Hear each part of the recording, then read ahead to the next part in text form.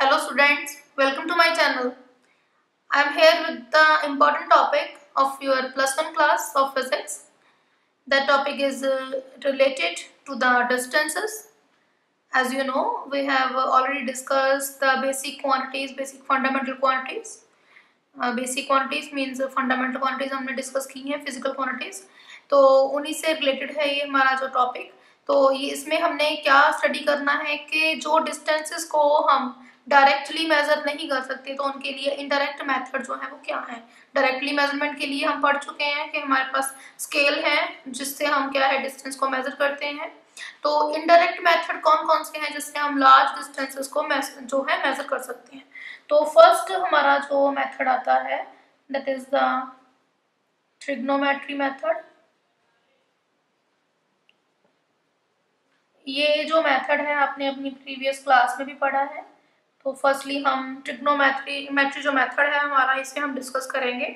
तो फ़र्स्ट है कि अगर हम क्या है असेसिबल ऑब्जेक्ट ले रहे हैं। असेसिबल ऑब्जेक्ट के लिए हम इस मेथड को एक्सप्लेन करेंगे कि हम कैसे एक असेसिबल मतलब असेसी मतलब असेसिबल मतलब जिसे हम डायरेक्टली अप्रोच कर सकते हैं, ठीक है? वो ऑब्जेक्ट जिसे हम डायरेक्टली अप्रोच कर सकते हैं, ठीक है जी? असेसिबल ऑब्जेक्ट के लिए है और असेसिबल ऑब्जेक्ट असेसिबल ऑब्जेक्ट क्या है? The object the object which can be approached which can be approached directly okay तो डायरेक्टली हम जिसे अप्रोच कर सकते हैं, वो हमारा क्या है? असेसिबल ऑब्जेक्ट है। तो हमने यहाँ कंसिडर कर लेना है कि हमारा कोई बिल्डिंग है है ना? तो सपोज़ कर लेते हैं कि यहाँ एक कोई बिल्डिंग है, ठीक है? तो इस बिल्डिंग का, ठीक है जी सपोज़ कर लो कि ये जो है, ये मेरा पॉइंट ऑफ़ ऑब्जर्वेशन है ए पॉइंट ठीक है?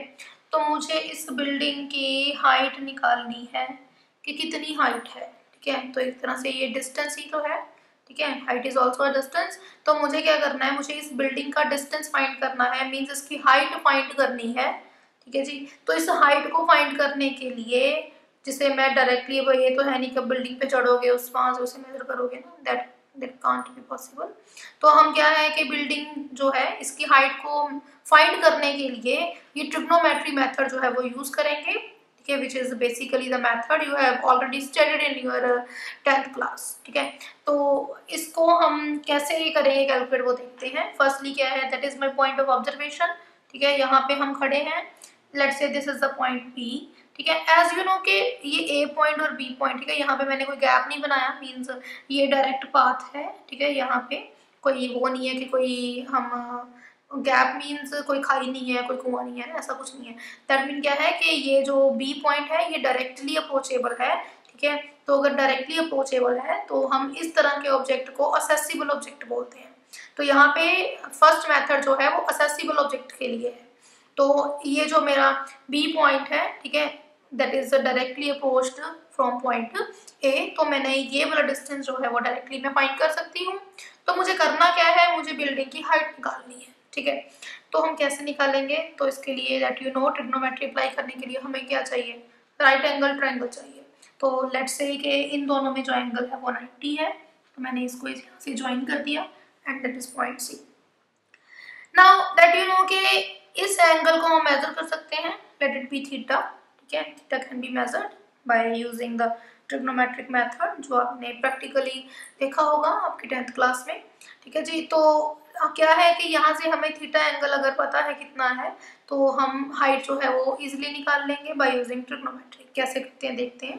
फर्स्टली क्या है कि मैं ले लूँगी जी in triangle that A B C A B C triangle ले ली है जी मैंने. Then A B C triangle जो है, ठीक है जी, उसमें हमने फाइंड करना है कि कितना हमारे पास ये बी सी आएगा, ठीक है?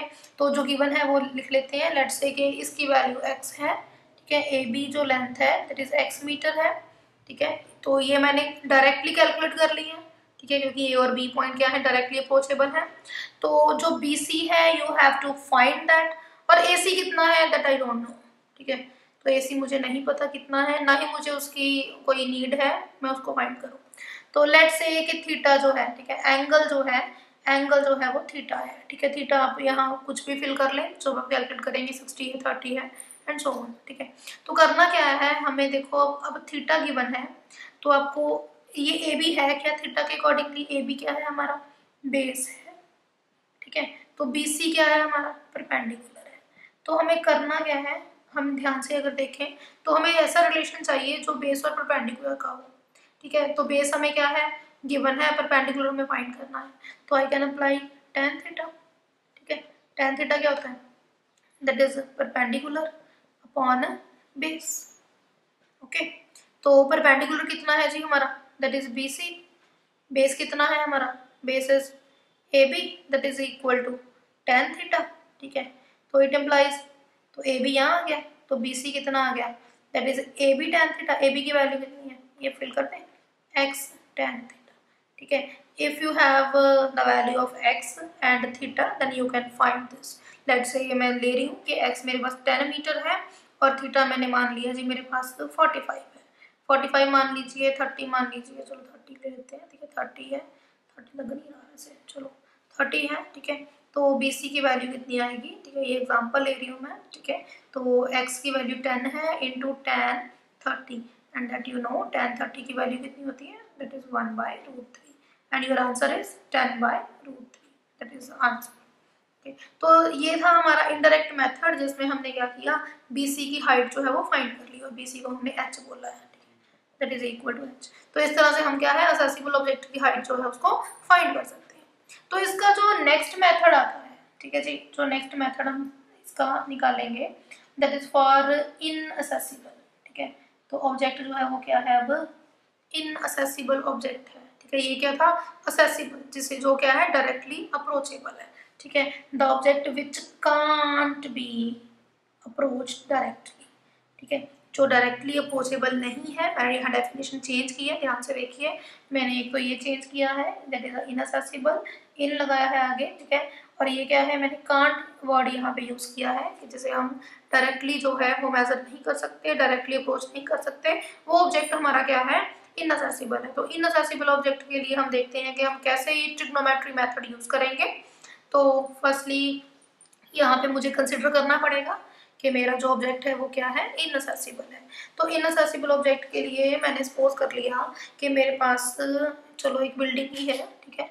तो मैंने इस बिल्डिंग का ही जो फाइंड करनी है हाइट ठीक है?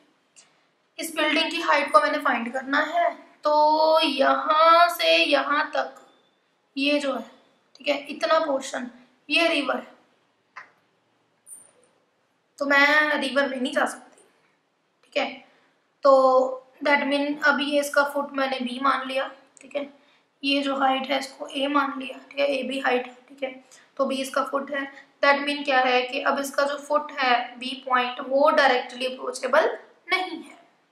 तो इसका जो डिस्टेंस है हाइट है, वो मैं कैसे फाइंड कर सकती हूँ? उसके लिए हम यहाँ पे जो ट्रिग्नोमेट्री मेथड है, उसको स्टडी करेंगे। तो फर्स्टली क्या है, अब मैं इसको कैसे करूँ? तो उसके लिए तो मैं एक बार तो चलो मैं यहाँ खड़ी देख रही हूँ, है ना, कि मैं कैसे कर सकती हूँ, मैं मतलब बी सी डिस्टेंस जो है उसको मैं नहीं मेज़र कर सकती क्योंकि ये रिवर है, ठीक है, और मैं इस साइड पे खड़ी हूँ रिवर के तो बिल्डिंग जो है वो रिवर के उस साइड पे है। तो अब कैसे करें? तो इसके लिए मैंने क्या किया, मैंने अपना दिमाग चलाया और फिर मैंने एक मेथड निकाला। तो मेथड क्या है?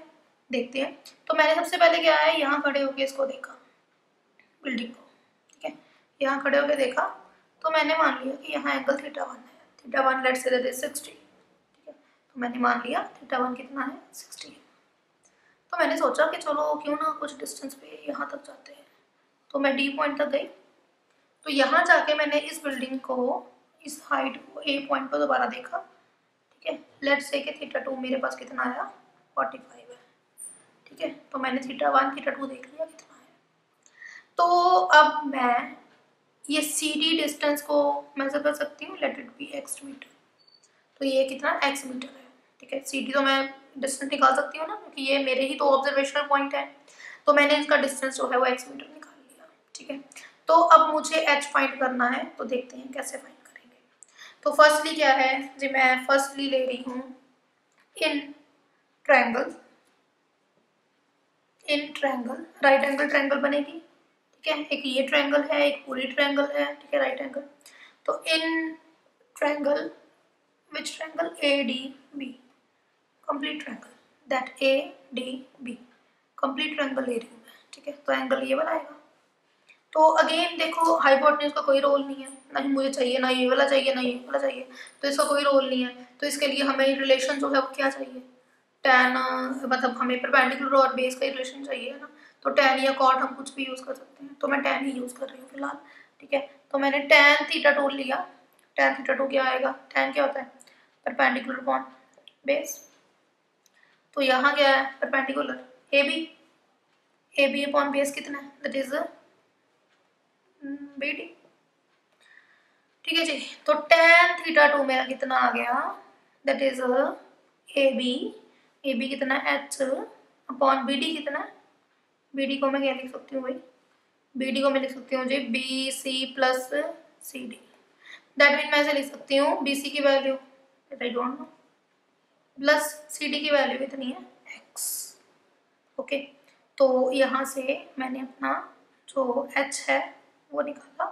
कितना आया? B C plus X into tan theta two let it be equation first okay X तो चलो हम किसी भी तरीके से मेजर कर लेंगे तो मैं एक्स की कंडीशन यहाँ पे ले रही हूँ टेन मीटर तो हम बाद में ना इसको एग्जांपल से मतलब ये वाली जो हम कंसिडर कर रहे हैं वैल्यू इनसे सॉल्व करेंगे ओके तो इसलिए मैं इस साइड पे लिख रही हूँ। तो ये हमारे पास क्या है? एच की वैल्यू आ गई, ठीक है? जो मैंने किससे निकाली है? कंप्लीट ट्रायंगल से निकाली है which is A D B now अब यहाँ से मैं इसको कैलकुलेट नहीं कर सकती, चलो थीटा टू पता है एक्स पता है बी सी नहीं पता ना। तो क्या किया मैंने? बी सी नहीं पता है तो इसका एक और सोल्यूशन निकालते हैं। कैसे निकालेंगे? ट्रैंगल लेते हैं। In triangle A it is A C B या ए बी सी ठीक है जी। Again angle is theta one tan theta that is perpendicular one base तो यहाँ परपेंडिकुलर कितना है? ए बी बेस कितना है? B C right perpendicular is A B and base is B C and B C मुझे फिर नहीं पता, है ना? तो ए बी मुझे फाइंड करना है तो देखते हैं कैसे, क्या करेंगे ठीक है tan theta one A B की वैल्यू एच है बी सी दैट मीन मैंने बी सी यहाँ से निकाला एच टेन थीटा वन ठीक है? तो मैं इसको ऐसे भी लिख सकती हूँ, ठीक है? तो मैं एच की वैल्यू लिख सकती हूँ एच एच कितना आ गया? बी सी टेन थीटा देखिए, ये भी वही हाइट है, ये भी वही हाइट है। दोनों क्या है? सेम ए बी की हाइट है तो दोनों क्या होनी चाहिए? इक्वल होनी चाहिए। तो मैं यहाँ क्या कर रही हूँ? फ्रॉम फ़र्स्ट एंड सेकेंड ठीक है? ये भी अच्छा है, ये भी अच्छा है। तो ये साइड भी क्या होनी चाहिए? Equal B C plus X into tan theta two must be equal to B C tan theta one तो अब यहाँ से बी सी की वैल्यू फाइंड कर लोगे। अगर मुझे यहाँ से बी सी मिल गया तो मैं यहाँ पे पुट कर दूँगी। ठीक है जी? तो अब मैं क्या करती हूँ? इस इक्वेशन को, ये सारा जो मैंने कंडीशन मानी है, इस पर अप्लाई कर रही हूँ। ठीक है? एग्ज़ाम्पल लेके अप्लाई करके दिखा रही हूँ आपको। तो चलो हमें बी सी फाइंड करना है। प्लस एक्स मेरा कितना है? टेन है। Tan theta two theta two कितना है? फोर्टी फाइव है। Tan forty five B C मेरा, मुझे पता नहीं है। टेन थीटा वन कितना है हमारा? कितना है? सिक्सटी ओके कितना ये? Tan sixty. तो क्या आ जाएगा ये? टेन फोर्टी फाइव वन होता है तो ये बन गया बी सी प्लस टेन तो that is root three root three B C तो ये बन गया जी root three B C minus B C ten. Side पे इकट्ठी कर लिया ना। तो root three minus one root three की value one point seven three यानी कि आ गया point seven three B C equal to ten तो बी सी कितना आ गया? टेन वाई पॉइंट सेवन तो ये मेरा आ गया बी सी ठीक है जी? तो यहाँ से मैंने क्या किया? इस इक्वेशन से ऐसे बी सी कैलकुलेट कर लिया, ठीक है? तो अगर बी सी आ गया है तो आप क्या कर सकते हो? इस बी सी के वैल्यू को यहाँ पे फिल करोगे, ठीक है? तो यहाँ पे टेन टेन थीटा वन की वैल्यू हमें पता ही है, ठीक है? तो हम यहाँ पे फिल कर लेते हैं, चलो, ठीक है? तो ये एच कितना आ जाएगा? Ten by zero point seven three into tan theta 1 is 60 that is a 1.73 क्योंकि tan 60 पुट करोगे ना, tan 60 की value root three that is 1.73 ठीक है? तो इस तरह से आप क्या है कि इस मेथड को यूज़ कर सकते हैं। That is a trigonometry method to calculate the distances और लेंथ इनडायरेक्टली ठीक है? तो ये आपका टेंथ क्लास से रिलेटेड मेथड है। ठीक है? तो नेक्स्ट जो हम अपनी वीडियो है नेक्स्ट वीडियो में हम इनडायरेक्ट मेथड जो और भी हैं हमारे पास डिस्टेंस को कैलकुलेट करने के लिए लेंथ को कैलकुलेट करने के लिए कि लार्ज डिस्टेंसेस को हम कैसे कैलकुलेट करें, जिन्हें हम डायरेक्टली नहीं कैलकुलेट कर सकते।